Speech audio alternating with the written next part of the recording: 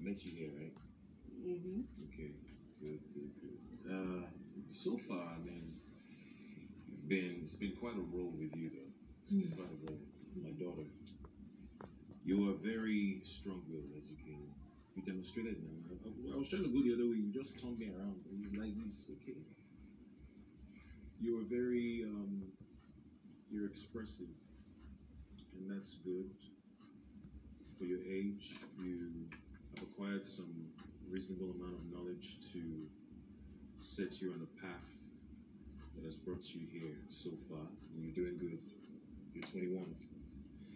That's a plus. Most people have not achieved the amount of things you've achieved at your age, and that's very commendable. Um, you know how to you know how to talk. You know how to say what's on your mind, irrespective of what you think the other party thinks. You're very expressive. You bear your mind out, and that's a very good thing. Um, you don't really care what people think about you. You don't care what people see. For the most part, that's what I've seen.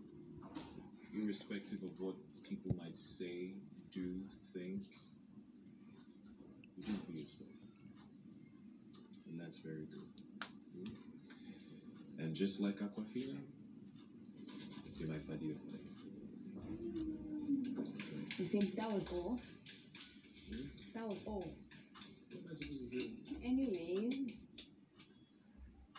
like he said, father and daughter. Um, I met Pere in the house, and the first thing was like, my daughter, and I was like, I mean, my father, and we were so cool. And there's one thing I would like to say is thank you so much. I remember Saturday when I did hmm. something wrong, and I felt so sad. And some White Money told me what I did, and I was so down. I didn't even know what to do. I felt like I was up for eviction. I felt like, oh, what I did will lead to me getting disqualified.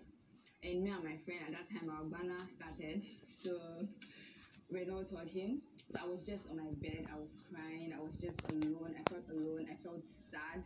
Like I didn't know what to do. I was like, oh, I'm going to go home. I was just heartbroken. Then he came to check up on me and he was like, Are you okay? Are you good? Like he spoke to me and I felt like my brother came to this house with me. I felt so comfortable. I felt so loved. I felt like, oh, like someone could just come and check up on me. I didn't even listen to him, but he came again the second time and he came to ask me, Don't worry, you won't go home. You're strong. Nothing is going to happen. Just stay still. And he went to call Alexandra because he knows Alexandra is my baby. so, and my mother.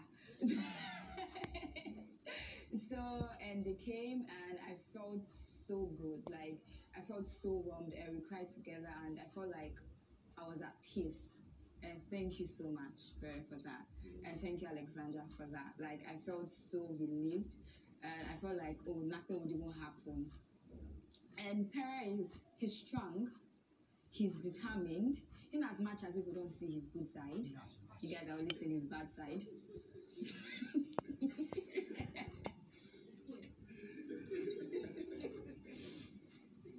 he is a very determined person.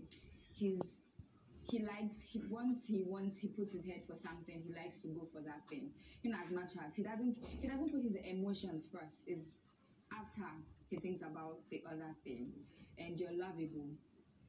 Like you're a sweet person even if you haven't nobody has seen that part of you and i feel like you should allow people see that.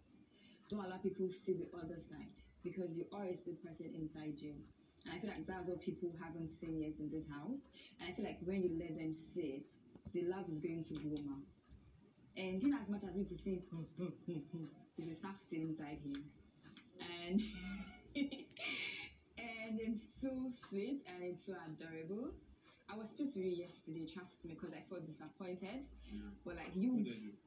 don't please, please don't remind me of the past. But like he came and he apologized and at least he still bought the apology. But like I would like to say thank you so much for the care you showed and the love and making me feel safe sometimes. and hmm,